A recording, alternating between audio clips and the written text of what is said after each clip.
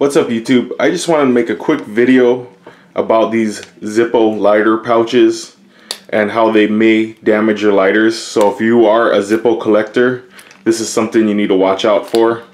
As you can see here, see that ring, that impression that the pouch made over time? Yeah, that can happen because there's the other part of this button's on the other side. It rubs against that and may cause damage to your lighter. So if you got a special lighter, especially for some reason you're walking around with a silver or gold lighter, like the actual ones that they have, the really expensive ones, you want to take that into consideration. I also was able to find a fix for this problem though, and that's with some electrical tape.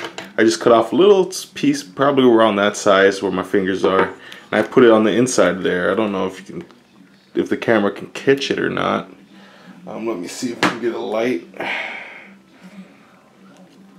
See, see where the tape is?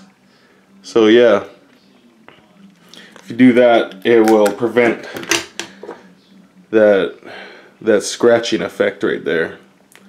But yeah, that's all I wanted to share with you guys. But until the next video, thanks for watching.